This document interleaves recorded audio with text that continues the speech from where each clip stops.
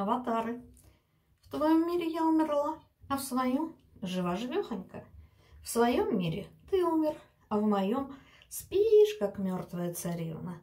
Как хорошо, что человек может жить одновременно в нескольких мирах за крепкими, нерушимыми границами. Аватары.